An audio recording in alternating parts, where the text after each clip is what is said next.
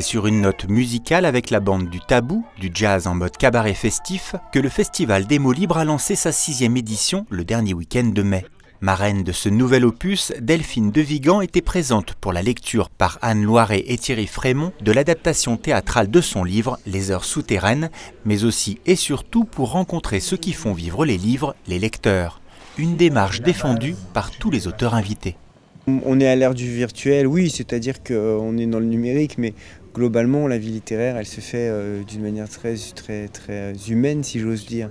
C'est-à-dire que voilà, on rencontre souvent les lecteurs, ce ne sont pas des gens virtuels, donc euh, c'est très important, je crois, d'avoir des moments d'échange et de convivialité. Vous savez, la seule force des écrivains, c'est leurs lecteurs, parce qu'on écrit pour les autres. En tout cas, moi, j'écris pour les autres, j'écris pas pour moi. Et les autres, on ne les voit pas. Quand on écrit, on est seul.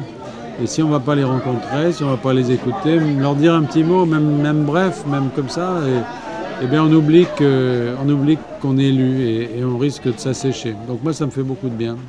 Ces échanges au détour d'une rencontre ou d'une dédicace font également beaucoup de bien au public concerné. On peut échanger, on peut discuter et je trouve ça très intéressant parce que c'est justement, je pense, euh, la, qualité des, des, gens très très intelligents, c'est leur humilité. Hein.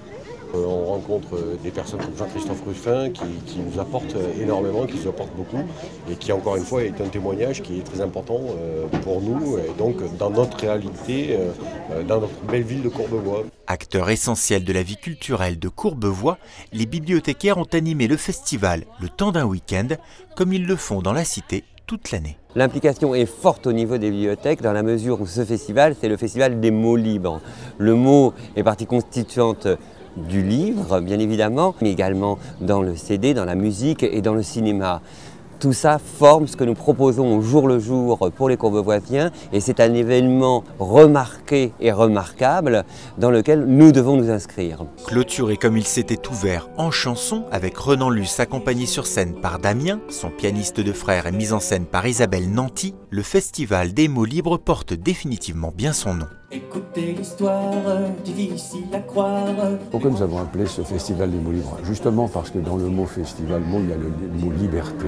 Quelle belle chose. Aujourd'hui, dans le contexte actuel, qu'il soit même international, la liberté, elle est importante. Donc le Festival des mots libres, eh bien c'est cela que nous voulons. Parce que même si on manque de liberté dans certains pays, on a toujours le livre. Et le livre permet justement d'avoir une certaine liberté.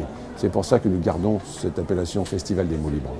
Cette année encore, le Festival des mots libres de Courbevoie a écrit une nouvelle et très belle page de sa jeune histoire.